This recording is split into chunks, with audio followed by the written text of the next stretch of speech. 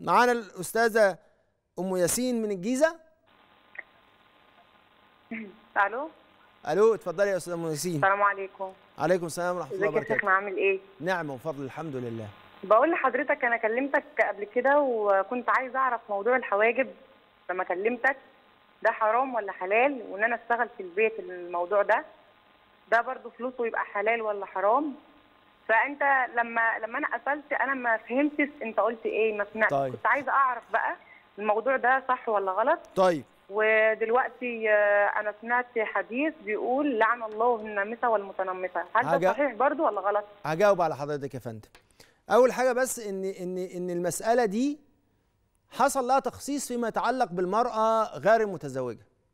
طيب يبقى أنت لو بتعملي الكلام ده وأنت متزوجة فلست لست داخلة في مسألة ماذا؟ مسألة اللعن. الحديث مش ليس له علاقة به.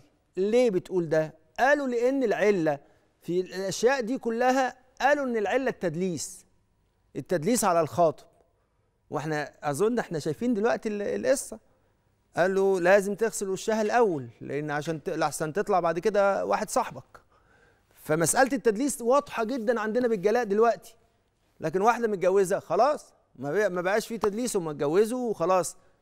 فإيه اللي حاصل؟ فلما قالوا إن العلة التدليس فإذا كانت المرأة هتعمل الكلام ده لزوجها أو حد هيساعد امرأة متزوجة إن هي تعمل الكلام ده لزوجها فده جائز بلا خلاف. فده جائز بلا خلاف. فسواء كنت أنت متجوزة تعملي الكلام ده لنفسك أو تعملي الكلام ده لغيرك فده جائز بلا خلاف. ده الجواب اللي جاوبته على حضرتك وبعيده مرة تانية. ولذلك السيدة عائشة بتقول إيه؟ لو استطاعت المرأة أن تخرج عينيها فتجملها ثم تعيدها مرة ثانية لزوجها لفعلت ولا لم يكن عليها إثم. خلاص يبقى المسألة دي واضحة جدا جدا حتى من كلام السيدة عائشة.